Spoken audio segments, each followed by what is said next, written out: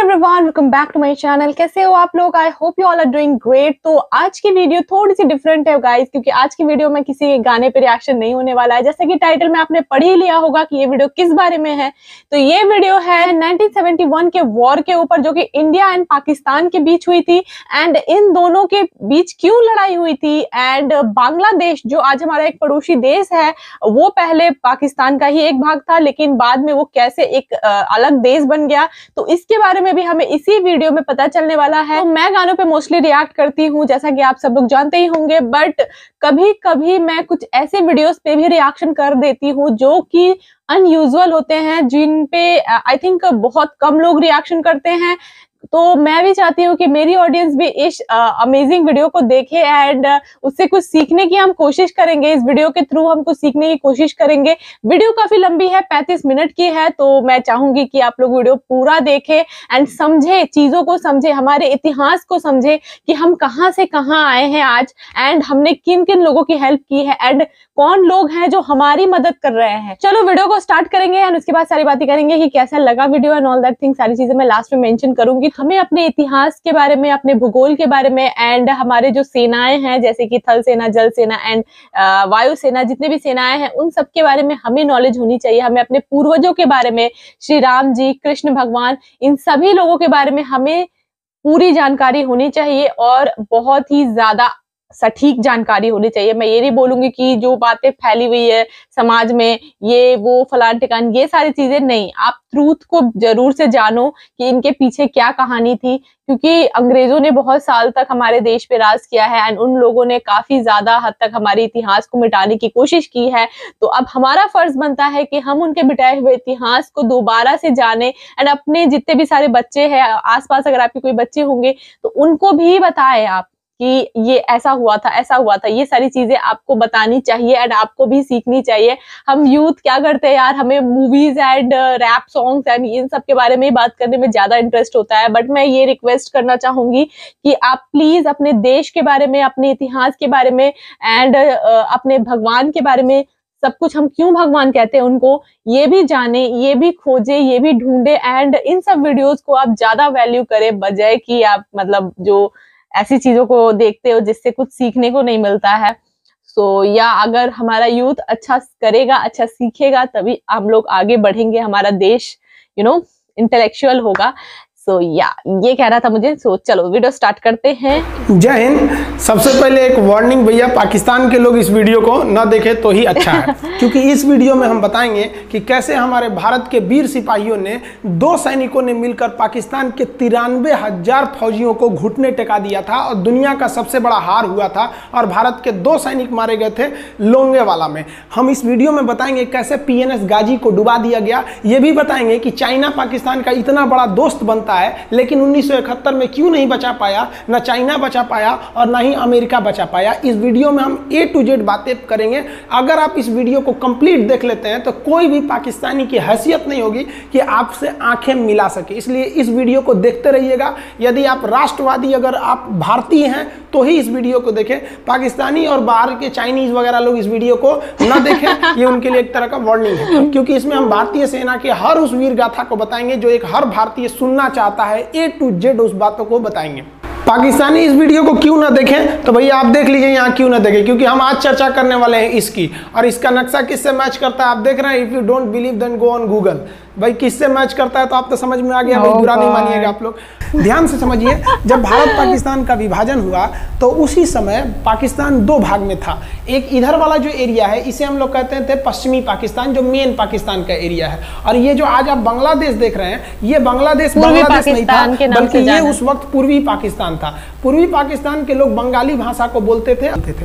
पाकिस्तान के लोग इन लोगों को बड़ा भद्दे मज़ाक करके बोलते थे। कहते, तुम लोग गधे हो, कुछ नहीं जानते हो, किसी काम लायक नहीं हो यूजलेस हो लोग, तुम लोग छोटे हो, काले हो। मतलब उल्टा सीधा मज़ाक कर रहे थे। पश्चिमी पाकिस्तान के लोग इधर के लोगों को पसंद नहीं करते थे। हो गया नहले पे दाला 1970 में। 1970 में इस पूर्वी पाकिस्तान के शेख मुजीबुर रहमान चुनाव जीत गए और वो यहाँ के प्रधानमंत्री के पद के चुनाव जीत गए। अब यहाँ की आर्मी ने क्या किया? उनको शपथ ही नहीं दिला रहे थे। इसलिए सत्तर के चुनाव जीतने के बाद शेख मुजीबुर रहमान जब देखे कि ऐसा है तो उन्होंने अपना भाषण दिया सत्रह सात मार्च को और कहा कि अब हम इस पूर्वी पाकिस्तान को एक अलग देश बनाएँगे जिसका नाम रहेगा बांग्लादेश। इस भाषण के वजह से आर्मी ने पाकिस्तान की आर्मी ने इन्हें 25 मार्च 1971 को गिरफ़्तार करके अब पश्चिमी पश्चिमी पाकिस्तान में अरेस्ट करके बंदी बनाकर रख दिया। और यहाँ पर जुल्म करना चालू कर दिया। कहाँ पर? भाई तो पूर्वी बंगाल में। पूर्वी पाकिस्तान में, पूर्वी बंगाल में नहीं, पूर्वी पाकिस्तान में इन्होंने जुल्म करना चालू कर दिया। शेख मुजीबुर रहमान के गिरफ्तारी के विरोध में यहाँ मुक्ति वाहिनी नाम कर एक विद्रोही गुट तैयार हो गया था। लेकिन पाकिस्तान के, पश्चिमी पाकिस्तान के लोगों ने इस पूर्वी पाकिस्तान पे इतना भयानक जुल्म किया कि इस पूर्वी पाकिस्तान में, इस पश्चिमी पाकिस्तान के लोगों ने यहाँ पर 30 लाख लोगों को कटवा दिया। 30 लाख 30 लाख लोगों को कटवा दिया, चार लाख महिलाओं का बलात्कार कर दिया। अपने देश के चार लाख औरतों का रेप किया यहाँ पे। इतना भयानक वो दृश्य है कि अगर हम उसको यूट्यूब पे दिखा देंगे ना तो यूट्यूब हमारे ऊपर क्लेम करेगा, भैया, आप ये सब इतने भयानक दृश्य नहीं दिखा सकते, आप अंदाज़ा लगाइए इनकी क्रूरता का। ये अपने देश पर इतना भयानक जुल्म कर रहे हैं। इतना भयानक जुल्म किया इन लोगों ने। कि शेख मुजीबुर रहमान की गिरफ्तारी के बाद इस जुल्म का नतीजा ये हुआ कि अप्रैल 1971 इंसान है ही नहीं वो भारत में नहीं। यहाँ से लोग भाग के आ गए कि भैया हम ज़िंदा रहेंगे तब तो। और यहाँ 10 लाख लोग भारत में आ गए शरण लेने कि भैया हमको बचाइए। तो इंदिरा गांधी जानती थी कि जब तक यहाँ शांति नहीं होगा तब तक ये लोग वापस नहीं जा सकते थे। और शांति का एक ही था कि यहाँ पे घुस के इनको मारा जाए। ताकि ये पश्चिमी पाकिस्तान वाले लोग यहाँ पर सुधर सके। तो इंदिरा गांधी ने इसके लिए बात की general field marshal Manek Shah से। उन्होंने सेना प्रमुख मानेक शाह से कहा, सैम मानेक शाह से कि आप अभी युद्ध कीजिए। हम आदेश देते हैं, आप अभी युद्ध कीजिए बांग्लादेश पे। हम अपने पड़ोसियों को इस तरह मरते नहीं छोड़ेंगे, आप इस पर हमला कीजिए। उस समय ये पूर्वी पाकिस्तान था। मानेक शाह ने कहा कि ना, हम हमला नहीं करेंगे। कही, अरे, क्यों? कहा कि हम कि आप महीना देख रही हैं? अप्रैल का महीना है। अप्रैल के महीने का मतलब बरसात का दिन सर पे है और बरसात के समय पूरब का हाल क्या होता है? एकदम भयानक बाढ़ आ जाती है और उन्होंने एग्ज़ाम्पल भी दिया कि सिकंदर की फौज भी हाथी लेके आई थी और कीचड़ में फंस गई थी कि अगर यहाँ हम लड़ जाते हैं तो यहाँ बरस, बरसात रहेगा हम यहाँ उलझ जाएँगे ये एरिया सूखा रहेगा चाइना का ऊपर से एरिया सूखा रहेगा। मानेक शाह ने इंदिरा गांधी से कहा कि आप दो तीन काम कर लीजिए। कब तक के लिए कि नवंबर तक हम लोग युद्ध नहीं करेंगे। लेकिन अप्रैल से नवंबर के बीच में हम अपने सैनिकों को इस एरिया में लड़ने के लिए ट्रेनिंग दे सकते हैं। थन मुक्ति वाहिनी उसको हम ट्रेनिंग दे सकते हैं। और इसी में 1971 में हमारी जो थी भारत और रूस की एक समझौता पर हस्ताक्षर हो गया। अब हम लोगों ने पाकिस्तान को एक बारूद के ढेर पर बैठा दिया था। इंतज़ार था तो इस, इस बात का कि उस बारूद में एक चिंगारी की और पाकिस्तान तबाह हो जाता। इत्तेफाक देखिए। उस बारूद के ढेर पर खुद चिंगारी जलाई पाकिस्तान ने। कैसे? तो समझिए कैसे? हम लोग का था कि इधर हम लोग ऑफेंसिव हो जाएँगे। मतलब इधर भयानक हमलावर हो जाएँगे और इधर हम लोग डिफेंसिव रहेंगे। मतलब इधर कम हमला करेंगे। ताकि हम लोग का मेन मकसद पाकिस्तान से युद्ध नहीं था। हमारा मेन मकसद था, हमारे अपने बांग्लादेशी भाइयों पर जो जुल्म हो रहा था, जो उनकी बहनों को रेप हो रहा था, इतना भयानक किया था वहाँ पर पाकिस्तानियों ने कि बाप के सामने बेटी का रेप करते थे। और उसके बाद बाप को मार के कहते थे, तू भी रेप कर। इतना मतलब मानवता पूरी खत्म कर दिया गया वहाँ पर। तो भारत ने कहा कि इधर हम डिफेंसिव रहेंगे। पाकिस्तान को ये खबर लग गई कि भारत ना इधर कमज़ोर है। अरे भैया, इधर हम कमज़ोर थोड़ी हैं, इधर कम सैनिक रखे हैं और इधर हम भयानक रखे। हैं तो इसका मतलब ये थोड़ी है कि हम कमज़ोर हो जाएँगे। भैया, कहा जाता है ना कि सोनार के घर का कचड़ा भी बनिया के बादाम से महँगा बिकता है। देखिए, हम लोग ठंडी का इंतज़ार ही कर रहे थे कि पाकिस्तान ने गलती कर दिया। उसने तीन दिसंबर को अचानक हमला कर दिया श्रीनगर पे, पठानकोट पर, चंडीगढ़ पर, यहाँ पर आगरा हवाई अड्डे पर तबातोड़ हमला कर दिया। एयरफोर्स का इतना भयानक हमला पाकिस्तान का भारत पर हुआ कि भारत देखते रह गया धड़ धड़ धड़ पाकिस्तान की जहाजें एंट्री मार गई सब भारत में। उसकी एयरफोर्स एंट्री कर दी। इतना भयानक हमला था इतना भयानक कि भारत का एक भी सैनिक नहीं मरा। समझ रहे ना कितना भयानक हमला था? अरे भाई Oh आप यहाँ पर घुस जाएँगे हमारे एक देश भी सैनिक नहीं मरा। भैया? मूस मोटा यहाँ लोढ़ा हुई हाथी घोड़ा थोड़े हुई हैं। भारत तो इसी का इंतज़ार कर रहा था। देहात में कहावत कहा जाता है कि रोए के रानी तले अखिए खुदा गई भैया, हम प्लाने कर रहे थे कि हमला करने के लिए कि आप हमारे पे हमला करिए दीजिए। अब विश्व का भी दबाव नहीं आएगा हमारे ऊपर कि भैया, हमला तो आपने किया है। अब हम लोग छोड़ेंगे नहीं भारत। एकदम दृढ़ निश्चय कर लिया। इसी बीच पाकिस्तान को एक खतरनाक खबर लग गई। क्या थी खबर भाई? तो देखिए, पाकिस्तान को खबर लगी कि भारत की ज़्यादातर फौज इस पूर्वी पाकिस्तान की ओर डिप्लॉयड है। और यहाँ राजस्थान के जैसलमेर जिला में एक जगह है, लोंगेवाला। उस लोंगेवाला में केवल और केवल 120 फौजी हैं। और अगर पाकिस्तान ने सोचा कि 120 फौजियों को हम रातों रात मार देते हैं तो उस समय एयरफोर्स रात में लड़ाई नहीं कर सकती थी। इसलिए इन्होंने लोंगेवाला में एंट्री मार दी। पूरी भयानक टैंक लेकर, फौज लेकर, इन्फेंट्री लेकर, और उसको वो लोग लोंगेवाला में घुसने के लिए चल दिए। और लोंगेवाला में भारत के पास केवल 120 सिपाही थे। केवल 120 और उन पर वो हज़ारों की संख्या में टूट पड़े।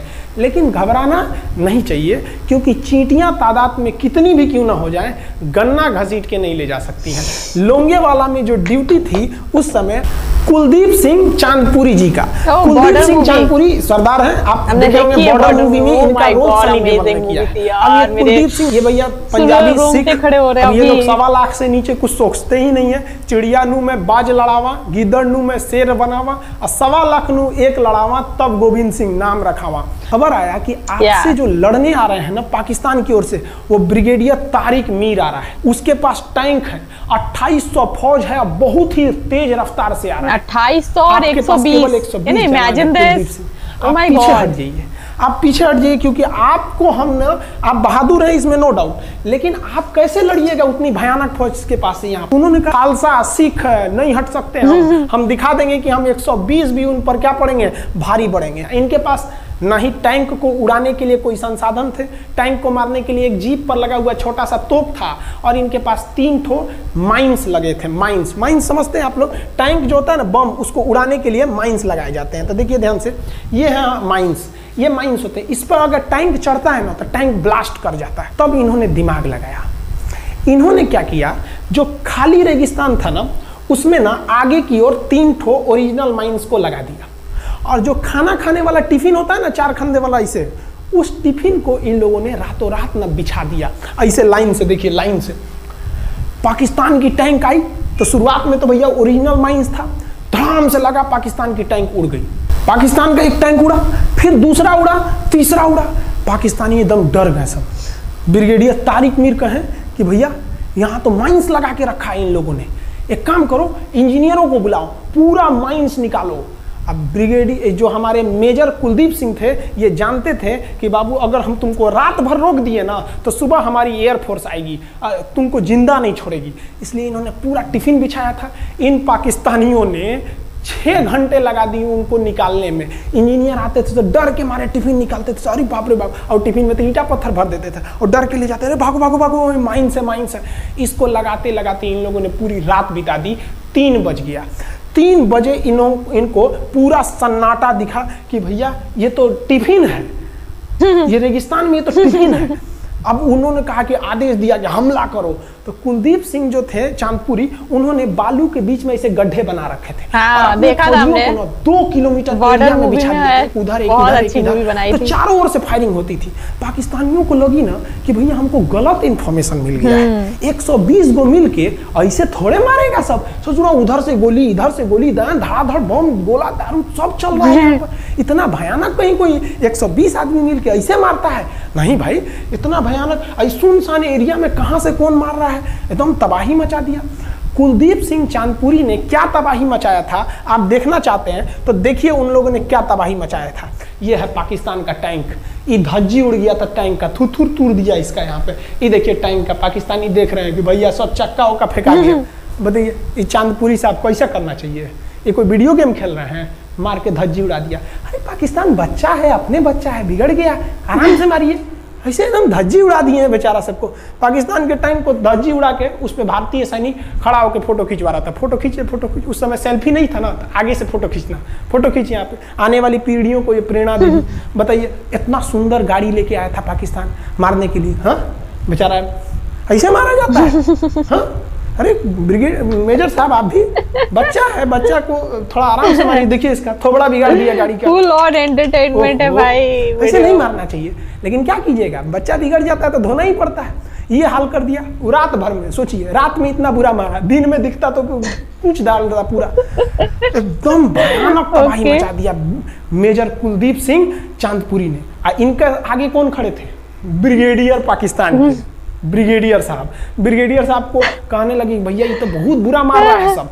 तब तक हो गया सुबह और सुबह के वक्त हमारे जो हंटर जहाज़ थे उस समय जो जहाजें थी वो हंटर जहाज़ थी। ये हंटर जहाजें रात में नहीं उड़ सकती थी लेकिन दिन में उड़ सकती थी। रात भर तक कुलदीप सिंह चांदपुरी ने ऐसा कूचा पाकिस्तानियों को इतना कि भोर हुआ तो बाकी का कसर एक लोग- एक-एक बंदे ने ना बहुत सारे लोगों को मारा था, पाकिस्तानियों को, तो my इतना भयानक तबाही मचाए सब पाकिस्तान मुझे movie का। आज भी याद है मैंने बहुत पाकिस्तान में देखी थी वो टैंक का ऐसे पड़ गया ये सब। लेकिन आज भी पूरा दिमाग पे हो।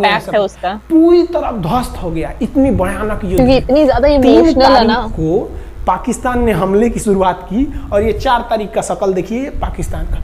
इतना भयानक धज्जी उड़ा दिया पाकिस्तान का जिसका कोई हद नहीं। पाकिस्तानियों को दुम दबा के भागना पड़ा ब्रिगेडियर साहब भागे। तो ये सब जान ले लेगा सब। हम लोगों ने पाकिस्तान के टैंकों को अपने यहाँ रख लिए हैं। म्यूज़ियम में। आज भी जाके देखिएगा ना तो इन टैंकों को डर के मारे पाकिस्तानी छोड़ के भाग गए कि भागो भाई यहाँ पर। ये 120 जवानों का जलवा था। और पाकिस्तानी कहते हैं कि हिंदुस्तान के लोग क्या लड़ेंगे?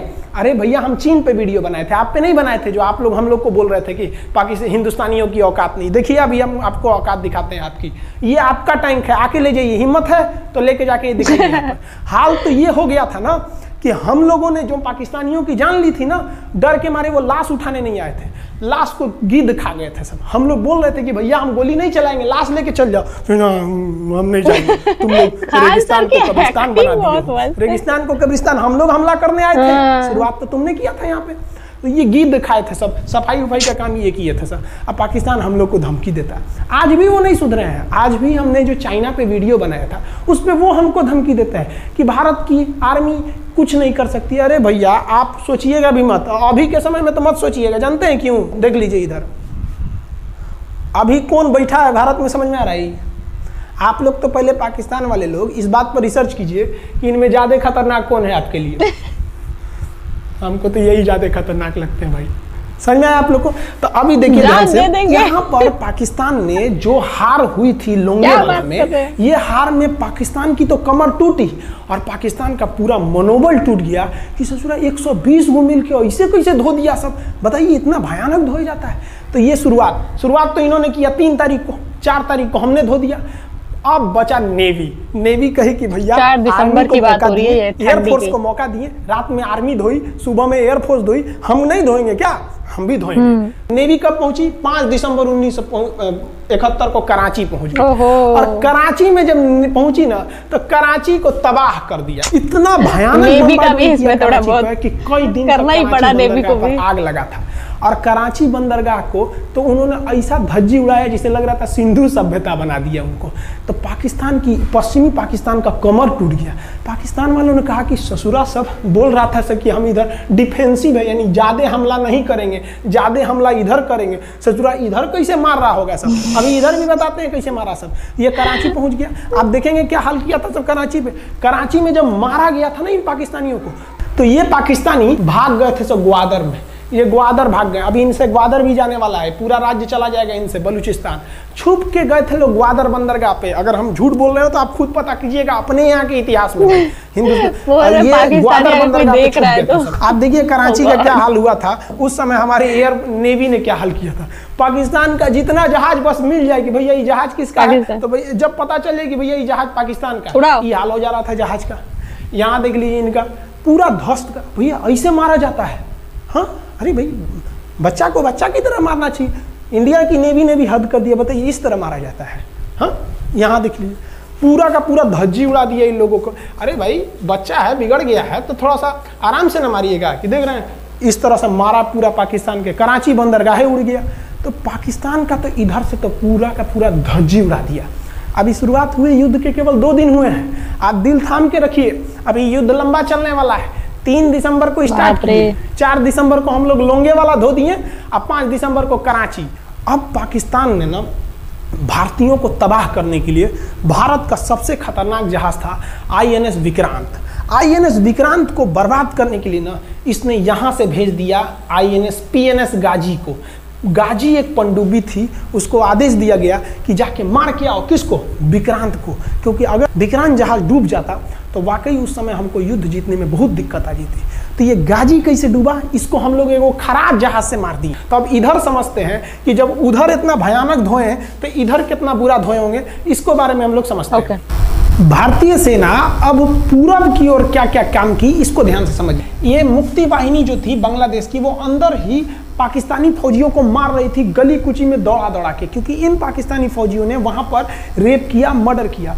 और इनका साथ दे रही थी इधर से हमारी इंडियन आर्मी और ऊपर से हमारा एयरफोर्स ये तबाह कर दिए थे, इनको भागने के लिए भी जगह नहीं था। और इसी में इनका सबसे बड़ा सरदर्द बन गया था इंडियन नेवी, क्योंकि इनको जो मदद थी, देखिए, ये पूर्वी पाकिस्तान है, इनको मदद जब भी मिलेगी तो इधर से ही मिलेगा। अब बताइए, यहाँ से तो कोई जाएगा नहीं, बेवकूफ़ भी नहीं होगा जो इधर से मदद करने जाएगा।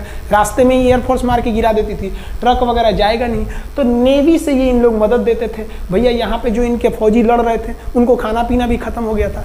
अब इनको बर्बाद कर दिया भारत आईएनएस विक्रांत। आईएनएस विक्रांत उस समय का बहुत बड़ा जहाज़ था इस साउथ एशिया के देशों का।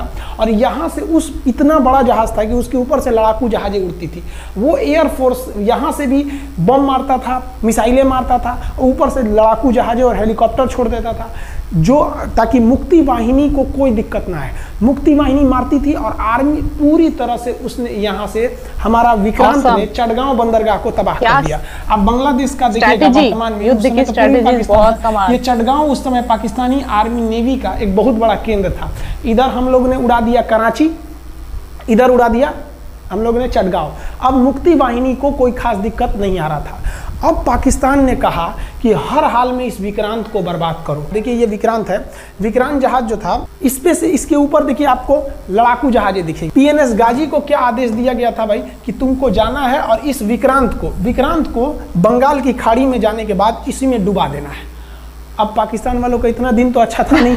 भारतीय खुफिया एजेंसी को पता चल गया कि पाकिस्तान की पनडुब्बी समुद्र के अंदर अंदर चलती है। पाकिस्तान की पनडुब्बी चल दी है पूरे पश्चिमी पाकिस्तान से आलिया बंगाल की भट्ट खाड़ी उसमें बताती है अरब सागर से बंगाल की खाड़ी वो लोग प्लानिंग कर रहे हैं विक्रांत को लेके जाने हाल में ज़रूरी था। इसलिए हम लोग विक्रांत को छुपा दिए मतलब थोड़ा सेफ्टी दे के रखने लगे। और इस पीएनएस गाजी जो था आप पीएनएस गाजी को देखेंगे। पीएनएस का मतलब था Pakistani naval ship PNS Ghazi. ये मारने आ गया किसको? विक्रांत को। इस पीएनएस गाजी को अगर कोई मार के डुबा सकता था तो वो था आईएनएस राजपूत। लेकिन ये जो आईएनएस राजपूत आप इमेज में देख रहे हैं, ये उस समय समस्या क्या था इस आईएनएस राजपूत के साथ? क्योंकि इसके इंजन में कुछ खराबी आ गई थी और ये बिगड़ गया था। और बिगड़ के इसको विशाखापट्टनम पे बनाया जा रहा था रिपेयर किया जा रहा था। इंजन ही गड़बड़ हो गया था। तो भारतीयों का यहीं पे दिमाग काम आया। भारतीयों ने सोचा, क्यों ना हम पीएनएस गाजी को खुद बुला के लाएँ कहाँ पर? विशाखापट्टनम पे। तो लोगों ने कहा कि भैया, ये आएगा। विशाखापट्टनम में कि आओ आई एन राजपूत हमको मार दो। तो कहा कि नहीं, देखिए कैसे आएगा। भारतीयों को पता था कि हिंदुस्तान में पाकिस्तानियों के कुछ ना कुछ जासूस होंगे और वो पाकिस्तान को पल पल की खबर दे रहे होंगे। भारतीयों ने क्या किया? आईएनएस विक्रांत के जितने भी अधिकारी थे, उनसे कहा कि आप लोग अपने अपने घर फ़ोन कीजिए। फ़ोन कीजिए कि हम विशाखापट्टनम आ रहे हैं। तुम लोग हमारी हमको छुट्टी मिला है विशाखापट्टनम में, दस दिन रुकेंगे। हमारे लिए तुम लोग खाना पीना अच्छा से बनाओ। लड़कों से उन लोगों को खबर खिला दिया। विशाखापट्टनम में जितने मछुआरे थे, उनको कहा गया कि आप लोग हट जाइए हट जाइए। बहुत बड़ा जहाज़ आने वाला है, बहुत बड़ा जहाज़। विक्रांत आ रहा है यहाँ पे, आप लोग खाली कर दीजिए। आईएनएस विक्रांत आ रहा है।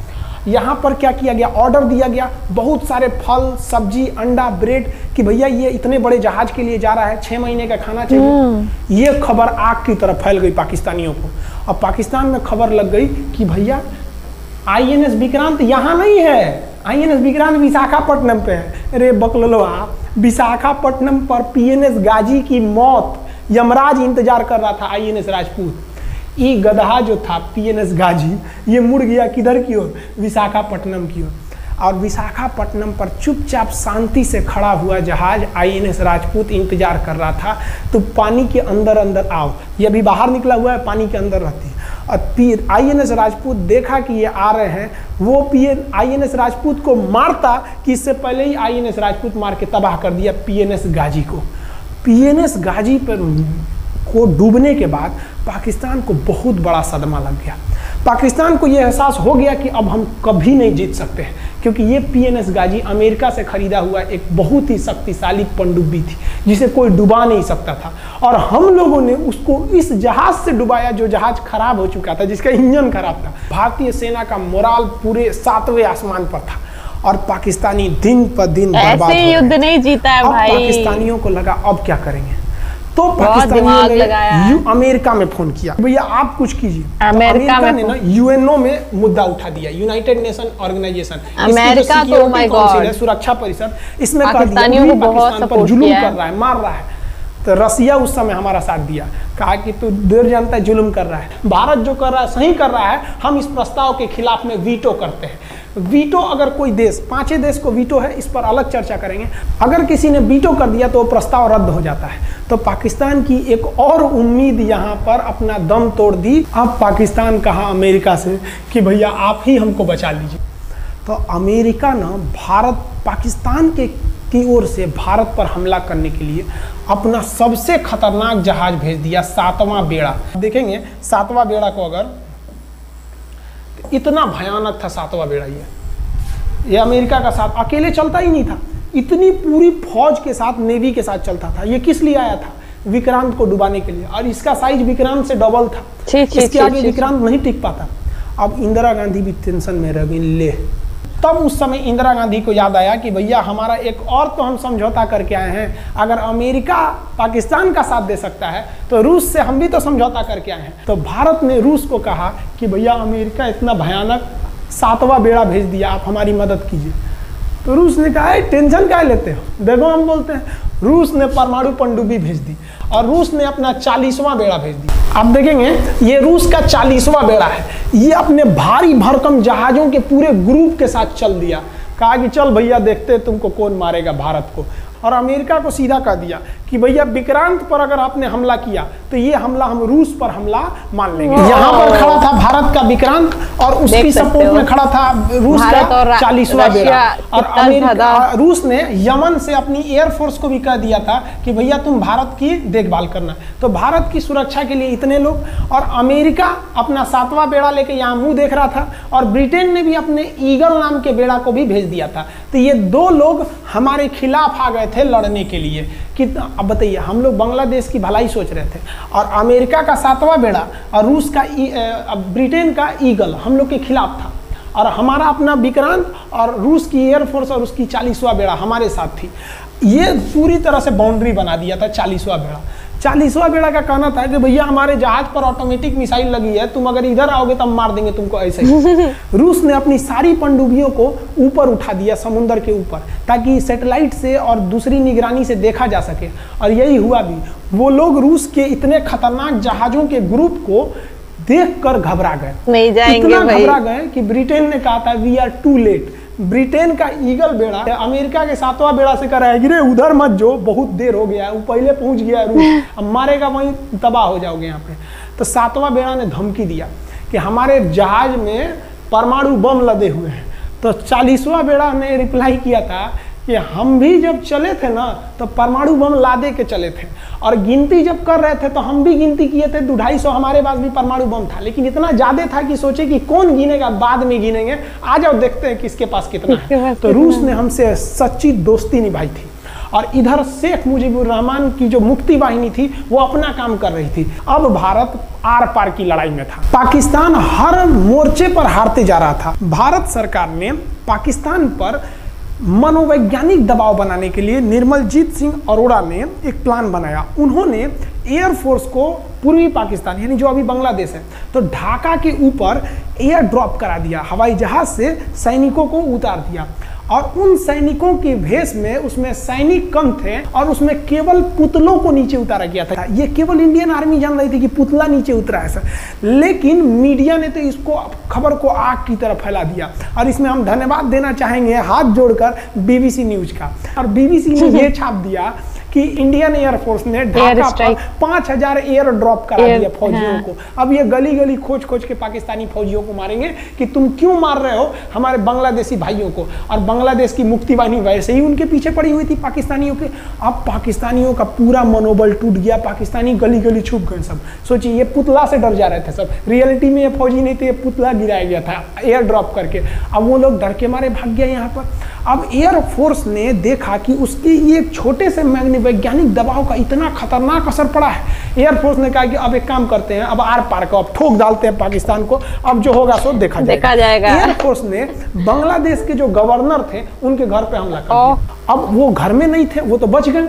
बचने के बाद डर क्या होता है? देखिए डर। डर किसको कहा जाता है? जो उनके गवर्नर हाउस थे ए एच मलिक इन्होंने त्याग पत्र दे दिया। भैया ज़िंदगी रहेगी तो बहुत नौकरी करेंगे। डर के मारे त्याग पत्र दे दिया। सोचिए गवर्नर क्योंकि पाकिस्तान का एक राज्य ही तो था पूर्वी पाकिस्तान। जैसे हमारा एक राज्य है उत्तर प्रदेश बिहार महाराष्ट्र वहाँ पे भी एक गवर्नर होते हैं ना? संवैधानिक हिसाब से गवर्नर मालिक होता है उस जगह का। त्याग पत्र दे दिए। सोचिए ये ये डर था उनके अंदर। निर्मलजीत सिंह अरोड़ा जो लेफ्टिनेंट जनरल थे। जनरल तो हमारे मानिक साथ थे। लेफ्टिनेंट जनरल थे जिन्हें बंगाल, बांग्लादेश जीतने की ज़िम्मेदारी दी गई थी मतलब उसे सुरक्षा करने की ज़िम्मेदारी दी गई थी। वो पाकिस्तान के लेफ्टिनेंट जनरल नियाजी से बात किए और उन्हें कहे कि हम आपको आधा घंटा का टाइम देते हैं। और आप इस आधा घंटा में विचार कीजिए, आप सरेंडर करते हैं कि नहीं। अगर आप सरेंडर कर देंगे तो हम आपको गारंटी देते हैं कि आपके सैनिकों को ज़िंदा रखा जाएगा। और अगर आप हमारी बात को नहीं मानेंगे, देखिए गवर्नर साहब के घर है। कोई ठीक नहीं है, आपके घर पे भी यही हो जाएगा। क्योंकि अगर आप हमारे सामने सरेंडर नहीं करिएगा तो याद रखिए, हम अपने हमले को दस गुना और तेज कर देंगे। और हार तो आप चारों ओर से गए हैं। भारत चाहता था कि जल्दी से जल्दी इस युद्ध को रोक, खत्म किया जाए। क्योंकि अब ये अंतर्राष्ट्रीय मैटर हो चुका था। अब अमेरिका अपना नाक पे ले लिया था कि भैया, हमारा जहाज़ मार के गिरा दिया। पी एन गाजी उसी की पंडुबी थी, वो तो पाकिस्तान को दिया। सातवां बेड़ा को नहीं घुसने दिया। हम अमेरिका की किरकिरी हो रही थी। ब्रिटेन के ईगल को घुसने नहीं दिया उसकी किरकिरी हो रही थी। अब भारत को उस समय लोग कहते कि ये गरीब देश है अभी अभी आज़ाद हुआ है। उन्नीस सौ इकहत्तर में हमारी यही हाल थी। और सारे लोग कह रहे थे ससुरा हम उसको गरीब समझ रहे थे। रोवा के रख दिया अमेरिका को हर जगह धो दिया पाकिस्तान को। अब बेचारे नियाजी क्या कर सके? नियाजी को आधे घंटे का टाइम दिया गया। 16 दिसंबर 1971 याद रखिएगा दिन 16 16 दिसंबर दिसंबर 1971 ये हमारे इतिहास का तेरह दिन के युद्ध में हमने पाकिस्तान को धूल चटा दिया था। क्योंकि तीन दिसंबर को पाकिस्तान ने युद्ध स्टार्ट किया था और 16 दिसंबर को हम लोगों ने जनरल नियाजी से आत्मसमर्पण करवा लिया। और आत्मसमर्पण आप देखना चाहेंगे जनरल नियाजी का जनरल नियाजी इन्होंने हमारे लेफ्टिनेंट जनरल निर्मलजीत सिंह अरोड़ा के सामने आत्मसमर्पण साइन किया Oh और साइन करने के बाद बांग्लादेश के Oh ढाका my में God। इन्होंने साइन किया और इनकी आँखों में आँसू था। एक देश के सेनापति के लिए इससे शर्म की बात क्या है? जो गिनीज बुक में नाम रिकॉर्ड करा दिया। गिनीज बुक में कैसे? देखिए पाकिस्तान के लोग हमको, हम चाइना के वीडियो बनाए थे, उस पर कमेंट कर रहे थे कि इंडियन आर्मी कुछ नहीं कर सकती। देखो, बांग्लादेश तुम्हारी बहादुरी का जीता जागता उदाहरण है तुम्हारे यहाँ का। तिरानवे हज़ार फौज, सोचिए तिरानवे हज़ार सैनिक पूरी दुनिया में आज तक आत्मसमर्पण नहीं किया। ये तिरानवे हज़ार लोगों ने आत्मसमर्पण कर दिया, देख लीजिए। ये अपना बंदूक उतार फेंक दिए। अपने स्टार नोच के उतार दिया कि भैया हम लीजिए आत्मसमर्पण कर रहे हैं बेल्ट उतार के दे दिया। अब चलिए जहाँ ले जा रहे हैं जितना लाठी मार रहे हैं आत्मसमर्पण। ये वही Oh पाकिस्तान है याद रखिए आप याद कीजिए. हमारे 120 सैनिकों ने आपको धूल चटा दिया था 2800 लोंगेवाला में। केवल दो सैनिक मरे थे Versus लोंगेवाला में पूरी की पूरी आपको भगा दिया था चार दिसंबर को ही। और आप याद कीजिए बहुत बहादुर बनते हैं ना। तिरानवे हज़ार फौज आपकी हार के गई है यहाँ से। इतना बड़ा हार दुनिया में आज तक कहीं का नहीं हुआ है। तिरानवे हज़ार सैनिक सरेंडर करके गए हैं भारत के सामने से। क्या बात कीजिएगा आप हमारे सामने। तो ये है गिनीज बुक में नाम है। ये तो है भैया पाकिस्तान की आर्मी। बहुत कमाल। गिनीज बुक में नाम है ना? जी। भले हारने से नाम है तो क्या हुआ? पाकिस्तान के लिए इससे खुशी की बात क्या हो सकती है? कि भैया गिनीज बुक के नाम है। अब इन लोग को जेल में बंद कर दिया गया। बाद में हम लोगों ने इन्हें छोड़ भी दिया था। और इस सरेंडर के बाद बांग्लादेश के जो मुक्ति वाहिनी थी उसके चेहरे पर ये मुस्कान थी कि बांग्लादेश अब स्वतंत्र हो गया। ढाका इंदिरा गांधी का स्टेटमेंट था ढाका स्वतंत्र राजधानी है स्वतंत्र बांग्लादेश की। ये खुशी थी बांग्लादेशियों के चेहरे पर जिनकी बहनों की इज़्ज़त आबरू लूट ली गई थी उन्हीं देश की फौजियों के द्वारा। जिन ये जो नि, नियाजी थे जब इन्हें लेफ्टिनेंट गवर्नर बना के भेजा गया था बांग्लादेश में तो ये ये नहीं पूछे थे कि बांग्लादेश का स्थिति क्या है। ये पूछे थे कि जिन लड़कियों का रेप हुआ है वो कहाँ है सब? दिखाओ तो मतलब ये भी जाके करेंगे। ये हाल था। ये इनके चेहरे पर मुस्कुराहट थी। बाद फिर मुजीबुर रहमान को पाकिस्तान से स्वतंत्र कराया गया। भारत ने जो अपना वादा किया था कि शेख मुजीबुर रहमान को स्वतंत्र करेंगे, बांग्लादेश को स्वतंत्रता दिलाएँगे, उनके अधिकारों के लिए लड़ेंगे, भारत ने अपने वादा को पूरा किया। आज शेख मुजीबुर रहमान की बेटी शेख हसीना बांग्लादेश की कमान संभाले हुई हैं। बंगला, शेख हसीना जब, हमको याद है, जब वो भारत आई थी तो एयरपोर्ट पे तो मोदी जी एयरपोर्ट पर रिसीव करने गए थे। जबकि ऐसा नहीं होता है। शायद ही बांग्लादेश की प्रधानमंत्री को पूरी दुनिया में कोई बड़ा, बड़े देश का राष्ट्रपति रिसीव करने जाए, प्रधानमंत्री रिसीव करने जाए तो भारत अपने पड़ोसियों का इतना ख्याल रखता है, चाहे वो नेपाल हो, भूटान हो, सबके साथ। अभी हाल फ़िलहाल में नेपाल के लोग थोड़ा गुस्सा हैं लिम्पियाधूरा काला पानी को लेकर लेकिन ऐसा नहीं है कि हमारा नेपाल के साथ कोई खराब रिश्ता है। हमारा नेपाल के साथ रोटी और बेटी का रिश्ता है। बांग्लादेशियों के साथ हमारा बहुत ही अच्छा संबंध रहा है। आज हमारे बांग्लादेश के साथ बहुत ही मधुर संबंध है। और बांग्लादेश को जो पाकिस्तान के लोग कहते थे ये किसी काम लायक नहीं है। ये वाले भाई लोग पाकिस्तान से आगे निकल गए। आज इनका मलमल का कपड़ा जूट और पाम ऑयल पूरी दुनिया में फ़ेमस है। जहाज़ों की मरम्मत में मतलब जहाज़ के रिपेयरिंग में बहुत आगे निकले हैं बांग्लादेश के लोग। आई होप आप समझ गए होंगे। इस युद्ध के बाद अगर भारत चाहता तो भारत पाकिस्तान के पश्चिमी भाग को भी कब्जा कर लेता। हम्म, क्योंकि यहाँ तो हम लोग हराए थे। उनके तिरानवे हज़ार फौज तो हम लोग ज़िंदा पकड़ लिए थे। हम उन्हीं को कह देते बंदूक लगा के कि कश्मीर खाली करो हमारा यहाँ से वापस जाओ। लेकिन बावजूद हमने इंसानियत दिखाई थी पाकिस्तान के ऊपर। इसका बदला पाकिस्तान ने हमें क्या दिया पता है? छब्बीस ग्यारह हम संसद भवन पर अटैक तो कभी अमृतसर में अटैक, कभी मुंबई में बम ब्लास्ट कभी छब्बीस ग्यारह का हमला, ये सब हम चाहते तो उस वक्त भी जीत सकते थे। ये पाकिस्तान वाले आप जो कहते हैं कि हमारी हम तो हमारे भारतीय सेना हमारा क्या कर सकती है? तो भारतीय सेना की रहमों को कुछ ज़्यादा ही अच्छे वरना उन्नीस सौ बहत्तर में ये जो ज़्यादा दयावान है। आप लोग को कहीं का नहीं छोड़ती। आप हिंदुस्तान के व्यूवर्स आप लोगों से भी कहते हैं कि एक लाइक तो बनता है इस सैनिकों के लिए। हमारे लिए नहीं हमारे इस चैनल के लिए एक लाइक तो बनता है। खान जी सेंटर चैनल को आप सब्सक्राइब करिए लाइक करिए। हम ये कभी नहीं कहते हैं लेकिन हम ये ज़रूर कहते हैं कि आज एक लाइक बनता है हमारे इन वीर सिपाहियों के लिए एंड शेयर करो यार शेयर करो ये वीडियो बहुत ही ज़्यादा इंफॉर्मेटिव करते हैं। हम बहुत ही ज़्यादा यू नो पेट्रियोटिक है। ये। है तो इस वीडियो को जितना से ज़्यादा शेयर करना है आप शेयर कीजिए ताकि आपके बच्चों बच्चों तक बच्चों को ज़रूर हमारे सैनिक कितने बहादुरी हैं कितने बहादुरी से लड़े थे हमारे सैनिक कितने बहादुर हैं। और इस वीडियो को आप इतना शेयर कीजिए इतना शेयर कीजिए कि पाकिस्तान तक पहुँचे और वहाँ का बच्चा बच्चा इस वीडियो को देखे लोग देख रहे हैं वीडियो। भारतीय सेना का जो डर है वो बैठे। ये डर ज़रूरी है उनके अंदर। ये डर उनकी हड्डियों तक जाना चाहिए। और हाँ कोई भी देश के हो हर देश को अपने सैनिकों के लिए सम्मान करना चाहिए। हम ये कोई मनगढ़ंत कहानी नहीं बताएँ हम अपने सैनिकों की वीर गाथा बताएँ जो ए टू जेड अक्षरशः सही चीज़ें हैं। समझ में आया? आप इस वीडियो को देख रहे हैं तो मेरे साथ बोलिए आप लोग भारत माता की जय। पाकिस्तान के युद्ध का जो हम सीरीज़ बना रहे हैं आज इकहत्तर का युद्ध बढ़ाए हम आपको कल उन्नीस सौ अड़तालीस का युद्ध बता देंगे। पैंसठ का पैंसठ की लड़ाई में वीर अब्दुल हमीद ने जो बहादुरी दिखाई फिर आपको चौरासी का सियाचिन निन्यानवे का करगिल और बासठ की चाइना युद्ध के बारे में भी बता देंगे। याद रखिएगा चाइनीज़ और पाकिस्तानी इस वीडियो को डिसलाइक ज़रूर करेंगे। आप उन पर भारी पड़िएगा। ये वीडियो आप संभाल के रखिएगा अपनी पीढ़ियों को दिखाइएगा yes. कि हमारी सेना कितनी बहुत कमाल की वीडियो बनाए हम अपने वीर जवानों के लिए।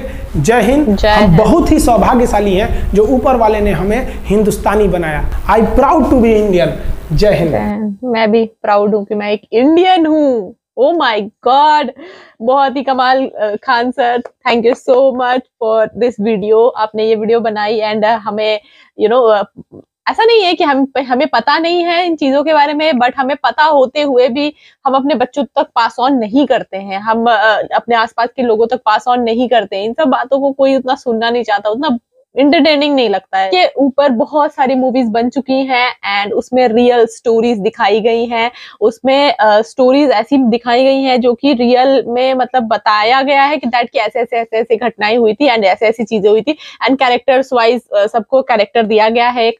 तो इंडियन इंडिया के खुफिया एजेंसीज कौन थे? इंडिया के उस समय के खुफिया लोग कौन थे? किन्होंने इंफॉर्मेशन दिया था किन्होंने लड़ाइयाँ की थी, जैसे कि उन्होंने बताया है बॉर्डर मूवी की बात हो रही थी। तो स्टार्टिंग में जो उन्नीस सौ इकहत्तर वाली जो बॉर्डर जो लोंगे वाला में जो बॉर्डर मूवी बनी है, वो जो है, वो उसकी कहानी बताता है। एंड जो आलिया भट्ट की राज़ी मूवी है, वो वहाँ पे जो आई वो जो पीएनएस जो गाजी को भेज रहे थे, वहाँ वाला बताया गया था दैट की पूर्वी पाकिस्तान जो की था उसको आज़ाद कराने के लिए इन लोगों ने नेवी की तरफ़ से भेजा है। तो वो चीज़ का इंफॉर्मेशन आलिया भट्ट ने दिया था इंडिया को मतलब मूवी में ऐसा दिखाया है बट वो कोई और होगी उस टाइम पे। एंड uh, सोच सकते हो कि एक लड़की होके भी uh, अपने देश के लिए उन्होंने जासूसी के तौर पे कितना uh, वो लेके और उस तरह से किया था विच इज़ ग्रेट थिंग और लड़कियाँ भी बहुत ज़्यादा बहादुर रही हैं हमारे देश की एंड लड़के भी बहुत ज़्यादा बहादुर रहे हैं हमारे देश के। तो आई एम रियली प्राउड कि मैं एक इंडियन हूँ। एंड uh, जहाँ तक बात थी uh, यहाँ पे बांग्लादेश पे तो I think Bangladesh and India Bangladesh की आज़ादी पे आई डोंट नो कि कौन सी मूवी बनी है।